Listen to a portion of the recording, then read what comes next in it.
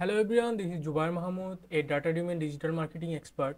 In this video, you will know about how to add Google Tag Manager with your BigCommerce website.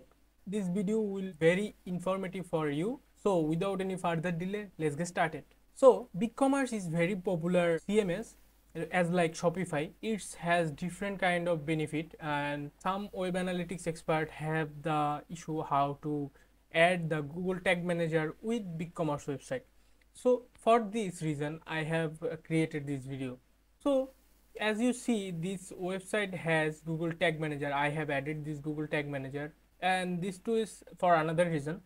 And I will remove this Google Tag Manager and I will add this again. So let's get started. So at first uh, we have to came the backend. Okay, we have came into the backend of the we have came into the backend of BigCommerce website. You will get the access from the client and then you can follow this step. From the BigCommerce admin panel, you have to go the storefront. Okay, then storefront you have to click the storefront then here you see the script manager option click the script manager option here you can see the uh, google tag manager code i have added this i will delete it okay i have deleted it. And now the google tag manager was successfully removed. There are no google tag manager. So how can we edit it?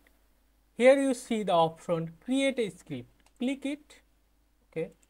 And this name of the script it is required. Okay. So we'll keep the name is google tag manager.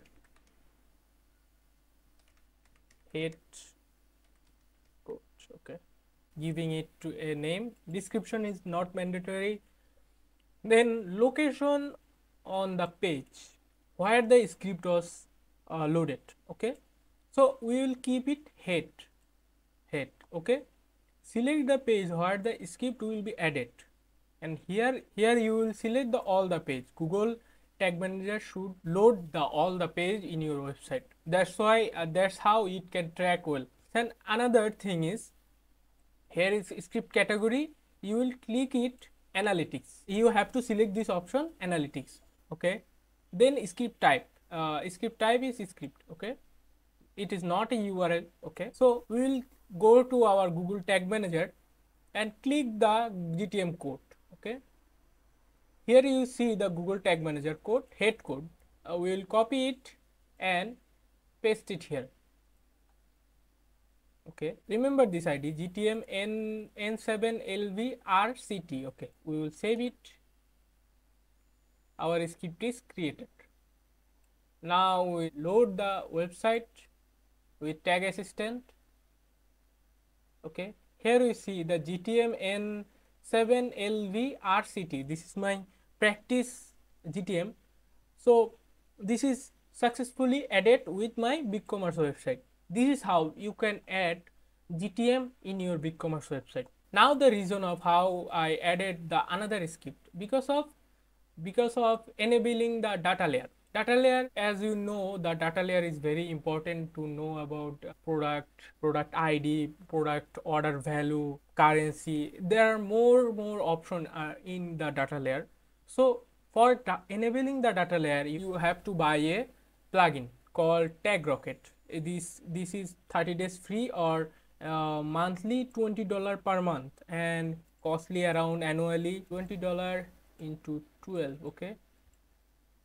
$264 annually is fee but I have enabled it uh, with my code and I have enabled it. With my service you will get data layer for annually free. So this is you see when a purchase happen there are some event is coming uh, you haven't paid this TagRocket 264 dollar uh, yearly. So with my service you will get this uh, data layer enable free.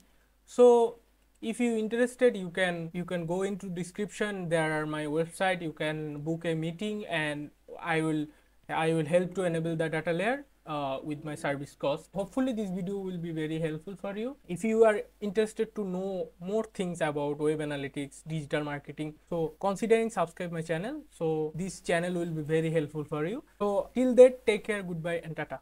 Thank you.